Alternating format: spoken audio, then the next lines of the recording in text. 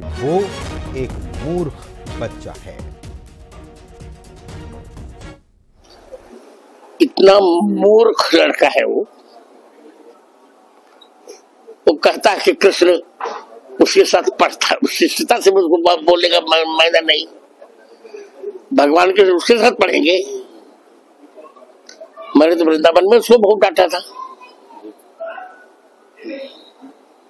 नमस्कार, स्वागत आप सभी का। तीन का तर्कश आप देख रहे हैं और आपके साथ मैं हूँ पुनीत मिश्रा। चलिए खबरों की करेंगे शुरुआत और सबसे पहले सीएम डॉक्टर मोहन यादव की बात, जिनका चित्रकूट का दौरा आज दूसरा दिन रहा और सीएम यादव इस दौरान अनोखे अंदाज में नज़र आए। सीएम ने पहले बच्चों को खिलौने दिलाए, इस दौरान वे यूपीआई से पेमेंट करते नज़र आए। वहीं इस दौरान मंदिर में परिक्रमा के दौरान सीएम यादव जब गुजर रहे थे तो रास्ते में चाय की दुकान चलाने वाली एक महिला ने सीएम को चाय पर आमंत्रित कर दिया। तो फिर वहीं सीएम ने चाय की दुकान पर जाकर खुद चाय बनाई और फिर अपने सहयोगियों को भी चाय पिलाई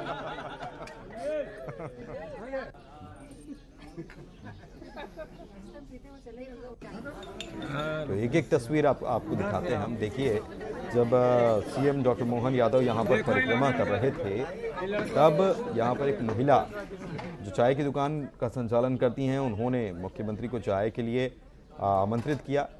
तो मुख्यमंत्री पहुँचे भी और न केवल चाय पी, बल्कि चाय वो खुद बनाने लगे। चाय बनाई, अदरक वाली चाय बनाई, अपने साथियों को पिलाई, परिक्रमा कर रहे थे छोटे छोटे बच्चों से भी मिले। उनसे उनका परिचय पूछा, नाम पूछा, क्या लेने आए हो? क्या खरीदारी करनी है? और वो सारा सामान दिलाया भी। यहाँ पर देखिए, और पूजा पाठ का सामान भी जो है, वो भी उन्होंने लिया। और पेमेंट यूपीआई से किया और एक संदेश दिया कि यूपीआई से पेमेंट करना है और लोकल फॉर वोकल का जो नारा प्रधानमंत्री मोदी ने दिया है, उसको भी हमें आगे बढ़ाना है।